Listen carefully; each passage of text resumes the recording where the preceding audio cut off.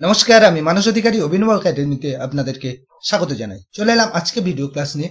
আজকে video class Bal Gangadhar Tilak. Bal Gangadhar তিলককে নিয়ে আজকের ভিডিও ক্লাসে থাকছে সংক্ষিপ্ত আলোচনা এবং সাথে অবশ্যই এমসিকিউ প্রশ্নোত্তর পর্ব। তো চলে আসি মূল বিষয়বস্তুতে বাল গঙ্গাধর তিলক। যিনি কংগ্রেসের একজন চরমপন্থী ব্যক্তিত্ব ছিলেন। বাল গঙ্গাধর তিলককে এক কথায় বিশেষিত করা দুঃসাধ্য। তিনি ছিলেন একধারে সমাজ সংস্কারক, স্বাধীনতা সংগ্রামী, জাতীয় নেতা, আবার অন্যদিকে ভারতীয় ইতিহাস, সংস্কৃত, গণিত, জ্যোতির্বিদ্যা ও হিন্দু দর্শনের অগাধ পাণ্ডিত্যের অধিকারী। তিনি ভারতের স্বাধীনতা আন্দোলনের প্রথম সারির চরমপন্থী নেতা ছিলেন। ব্রিটিশ ঔপনিবেশিক কর্তৃপক্ষ তাকে ভারতীয় অস্থিরতার জনক বলে অভিহিত করেছিলেন। বালগঙ্গাধর তিলককে বলা হয় লোকমান্য তিলক। লোকমান্য কথার অর্থ হল জনগণ দ্বারা নেতা হিসাবে গৃহীত। বালগঙ্গাধর তিলক তিনি একধারে ছিলেন। সমাজ সংস্কারক, স্বাধীনতা সংগ্রামী এবং জাতীয় নেতা। অন্যদিকে তিনি ইতিহাস, গণিত, সংস্কৃত, জ্যোতির্বিদ্যা ও হিন্দু দর্শনের অগাধ পাণ্ডিত্যের অধিকারী। বালগঙ্গাধর তিলককে ব্রিটিশ ঔপনিবেশিক ভারতীয় অস্থিরতার জনক বলে অভিহিত করেছিলেন। বালগঙ্গাধর তিলককে লোকমান্য তিলক বলা হয়। লোকমান্য কথার অর্থ হল জনগণ দ্বারা গৃহীত। আঠারোশো ছাপ্পান্ন সালে তেইশ জুলাই মহারাষ্ট্রের রত্নগিরির চিৎপাবন ব্রাহ্মণ পরিবারে তিলক জন্মগ্রহণ করেন। ছোটবেলা থেকেই তিনি অত্যন্ত মেধাবী ছিলেন এবং গণিতে তার বিশেষ আকর্ষণ ছিল। তিলক গণিতে প্রথম শ্রেণির স্নাতক হন। তিলকের কর্মজীবন শুরু হয় গণিত শিক্ষকতার মাধ্যমে। পরবর্তীকালে তিনি সাংবাদিকতার কাজ গ্রহণ করেন। তিনি প্রার্থনা সমাজের সাথে যুক্ত হয়ে মহাদেব গোবিন্দর সাথে মিলিতভাবে ডেকান এডুকেশন সোসাইটি বা দাক্ষিণাত্য শিক্ষা সমাজ গঠন করেন। এর পরের বছরেই তিনি মারাঠি ভাষায় কেসরি ও ইংরাজি ভাষায় মারাঠা বা মারাঠা নামক দুটি সাপ্তাহিক পত্রিকা বের করেন। তিনি ছিলেন জাতীয় আন্দোলনের সক্রেটিস। বাল গঙ্গাধর তিলক জন্মগ্রহণ করেন আঠারোশো ছাপ্পান্ন সালের তেইশ জুলাই মহারাষ্ট্রের রত্নগিরিতে। তিনি কর্মজীবন শুরু করেন গণিত শিক্ষক হিসাবে, পরে তিনি সাংবাদিকতার কাজও গ্রহণ করেন। বাল গঙ্গাধর তিলক দাক্ষিণাত্য শিক্ষা সমাজ গঠন করেছিলেন মহাদেব গোবিন্দ রানারের সাথে মিলিতভাবে। বাল গঙ্গাধর তিলক মারাঠা নামক ইংরাজি ভাষার পত্রিকা প্রকাশ করেছিলেন, এছাড়াও তিনি কেসরি নামক মারাঠি ভাষার পত্রিকা প্রকাশ করেছিলেন। বালগঙ্গাধর তিলক আঠারোশো নব্বই খ্রিস্টাব্দে ভারতীয় জাতীয় কংগ্রেসে যোগদান করেন। তিনি পুনে মিউনিসিপ্যাল কর্পোরেশন ও বম্বে বিধানমণ্ডলের সদস্য ছিলেন এবং তিনি বম্বে বিশ্ববিদ্যালয়ের ফেলো হিসাবে নির্বাচিত হয়েছিলেন। তিনি ছিলেন বাল্য বিবাহের ঘোর বিরোধী এবং বিধবা বিবাহের পক্ষে। তিলক জাতীয়তাবাদের চারটি লক্ষ্যের কথা বলেন, যথা প্রাচীন ভারতীয় সভ্যতার প্রতি আস্থা রেখে তারই ভিত্তিতে ভবিষ্যৎ আন্দোলন সংগঠন করা।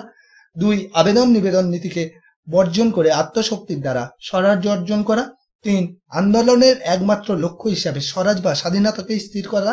চার, স্বাধীনতা আন্দোলনকে গণ আন্দোলনে পরিণত করা। বাল গঙ্গাধর তিলক আঠারোশো নব্বই খ্রিস্টাব্দে জাতীয় কংগ্রেসে যোগদান করে। তিনি পুনে মিউনিসিপ্যাল কর্পোরেশনের সদস্য হয়েছিলেন। এছাড়া তিনি বম্বে বিধানমণ্ডলের সদস্য ছিলেন। এছাড়াও তিনি বম্বে বিশ্ববিদ্যালয়ের ফেলো হিসাবে নির্বাচিত হয়েছিলেন।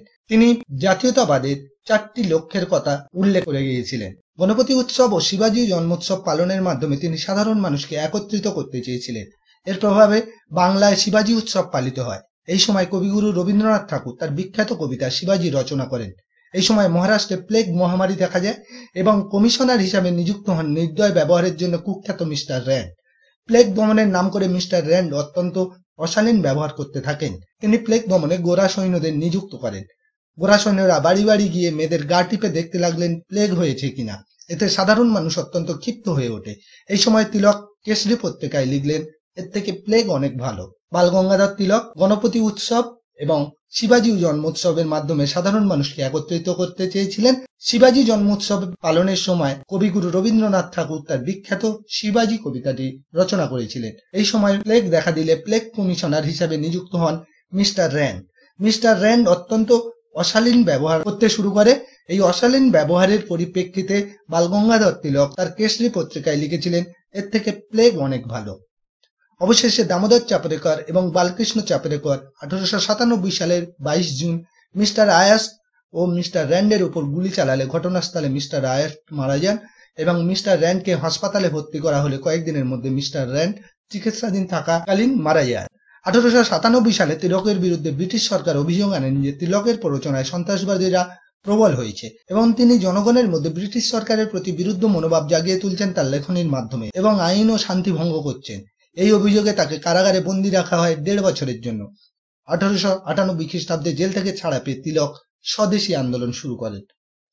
দামোদর ও বালকৃষ্ণ চাপেরকর আঠারোশো সাতানব্বই সালে বাইশ জুন মিস্টার রায়াট ও মিস্টার র্যান্ডের উপর গুলি চালালে মিস্টার রায়াট ঘটনাস্থলেই মারা যান। মিস্টার র্যান্ডকে হাসপাতালে ভর্তি করলে চিকিৎসাধীন থাকা সময় তিনি মারা যান। এই ঘটনার পর বালগঙ্গাধর তিলকের উপরে অভিযোগ আনেন যে তিনি প্ররোচনার মাধ্যমে সন্ত্রাসবাদী কার্যকলাপ বৃদ্ধি করাচ্ছেন এবং শান্তি ও আইন ভঙ্গ করছেন। তার জন্য তাকে দেড় বছরের কারাবন্দী করা হয়। আঠারোশো অষ্টানব্বই খ্রিস্টাব্দে বালগঙ্গাধর তিলক জেল থেকে ছাড়া পেয়ে স্বদেশী আন্দোলন শুরু করে। সংবাদপত্র এবং বক্তৃতার মাধ্যমে তিলক মহারাষ্ট্রের গ্রামে গ্রামে স্বদেশী আন্দোলনকে জোরদার করে তোলেন এমনকি তার বাড়ির সামনে স্বদেশী জিনিসের বাজারও খোলা হয়। এই সময় ভারতীয় জাতীয় কংগ্রেস দ্বিধা বিভক্ত হয়ে যায়। নরমপন্থী ও চরমপন্থী এই দুই মতবাদে।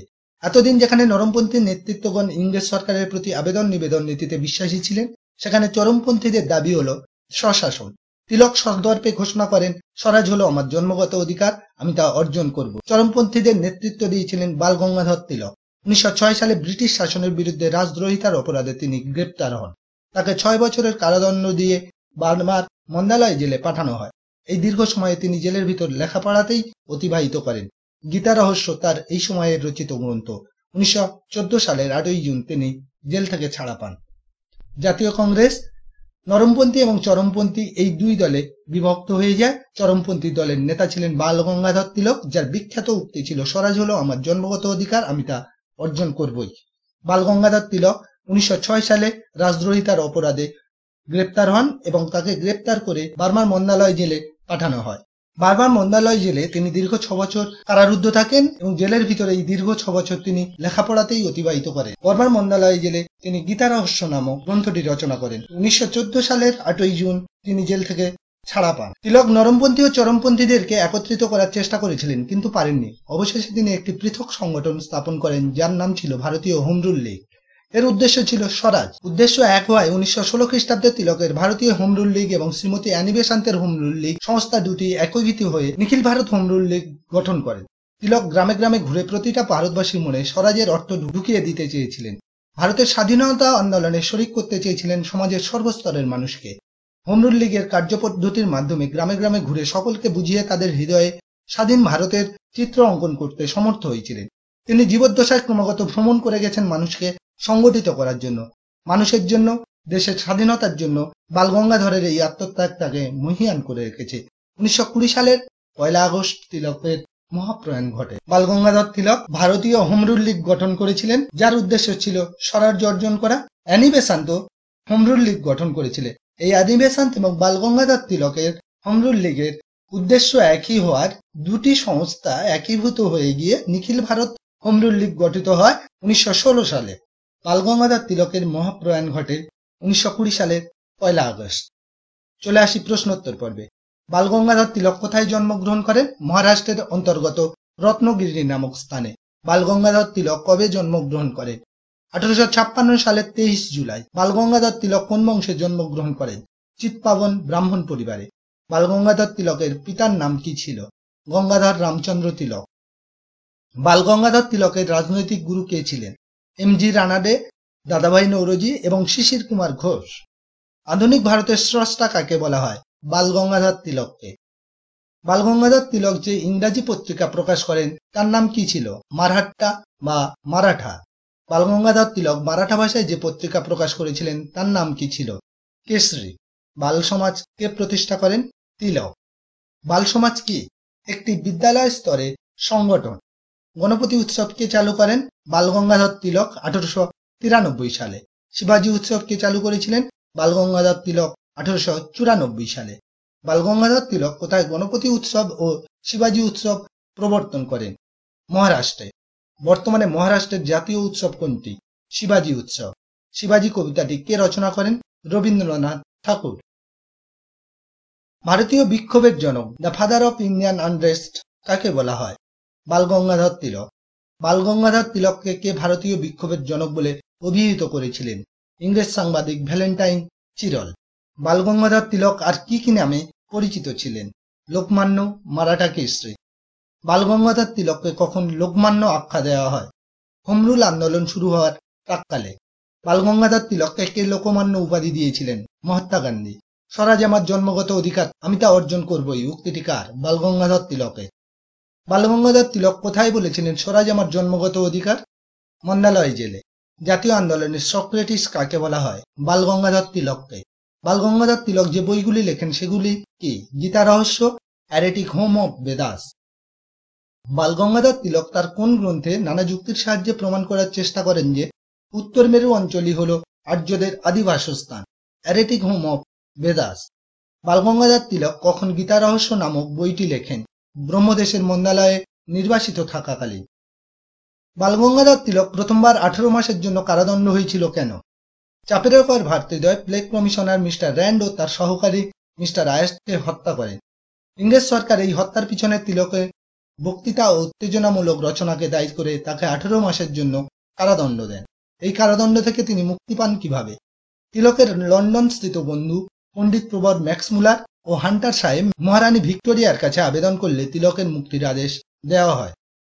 বালগঙ্গাধর তিলককে মন্দালয়ে নির্বাসিত করা হয়েছিল কেন? উনিশশো আট সালে প্রফুল্লচাকী ও ক্ষুদিরাম বসুর বোমা নিক্ষেপের উপর কেশরী পত্রিকায় কয়েকটি প্রবন্ধ প্রকাশিত হলে ইংরেজ সরকার তিলককে গ্রেপ্তার করে ছয় বছরের জন্য মন্দালয়ের জেলে নির্বাসিত করেন উনিশশো আট সালের বিপজ্জনক বিপ্লবী কাকে বলা হয়? তিলককে। মন্দালয় থেকে বালগঙ্গাধর তিলক কবে মুক্তি পান? উনিশশো চোদ্দ সালের ষোলোই জুন। ভারতীয় হোমরুল লীগ কে প্রতিষ্ঠা করেন বালগঙ্গাধর তিলক। ভারতীয় হোমরুল লীগ কবে প্রতিষ্ঠিত হয়? উনিশশো ষোলো সালে। বালগঙ্গাধর তিলক ভারতীয় হোমরুল লীগ কোথায় প্রতিষ্ঠা করেছিলেন? পুনায়। মন্দালয় থেকে ফিরে বালগঙ্গাধর তিলক কোন আন্দোলন শুরু করেছিলেন? হোমরুল আন্দোলন। হোমরুল আন্দোলনের একজন বিশিষ্ট মহিলা নেত্রীর নাম করো অ্যানিবেসান বালগঙ্গাধর তিলক যখন কংগ্রেসে যোগদান করতে চান, তখন তার সপক্ষে এবং বিপক্ষে কারা কারা ছিলেন? সপক্ষে ছিলেন অ্যানিবেসান ও সুব্বারাও তিলক এবং বিপক্ষে ছিলেন গোপালকৃষ্ণ গোখলে ও ফিরোজ শাহ মেহতা। কে গোখলেকে লিখেছিলেন, আপনি আর তিলক কলহ মিটিয়ে ফেললে ভারত সম্বন্ধে আবার আশা ফিরবে। মতিলাল ঘোষ। তিলক কোন অধিবেশনে কংগ্রেস ত্যাগ করেন? সুরাট অধিবেশনে। এই অধিবেশনটি হয়েছিল উনিশশো সাত সালে। এর সভাপতিত্ব করেন রাসবিহারী বসু। এই অধিবেশনে কংগ্রেস নরমপন্থী ও চরমপন্থী দুটি দলে বিভক্ত হয়ে পড়ে। কবে বালগঙ্গাধর তিলক পুনরায় সুরাট অধিবেশন ত্যাগ করার পর? কংগ্রেসে যোগদান করেন।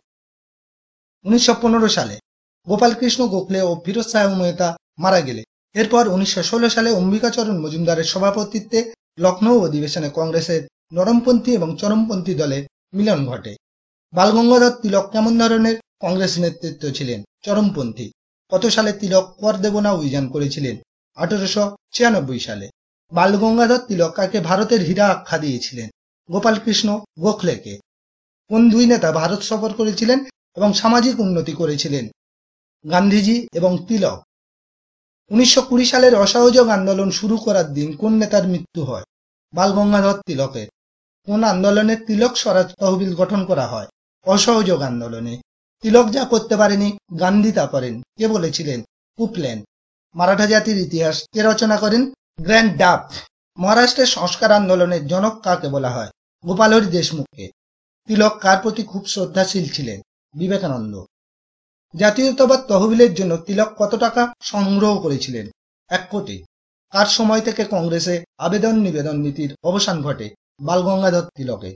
ব্রিটিশ ভারতে রেলের উপযোগিতা বা কার্যকারিতা সম্পর্কে কে মন্তব্য করেন? ব্রিটিশ ভারতের রেলের কোনো উপযোগিতা নেই। এটি হলো অন্যের স্ত্রীকে অলঙ্কৃত করার নাম। Tilak. Our nation like a tree উক্তিটি কার? বালগঙ্গাধর তিলক। ব্রিটিশরা কাকে ফাদার অফ ইন্ডিয়ান ডিসঅ্যাফেকশন বলে আখ্যা দিয়েছিলেন? বালগঙ্গাধর তিলককে। শিক্ষা অপেক্ষা করতে পারে স্বরাজ নয়, উক্তিটি কার? বালগঙ্গাধর তিলকের। পরবর্তী ক্লাসের আলোচ্য টপিক বিপিন চন্দ্র পাল, কংগ্রেসের অপর একজন চরমপন্থী ব্যক্তিত্ব। সঙ্গে থাকার জন্য অসংখ্য ধন্যবাদ। ভালো থাকবেন, সুস্থ থাকবেন।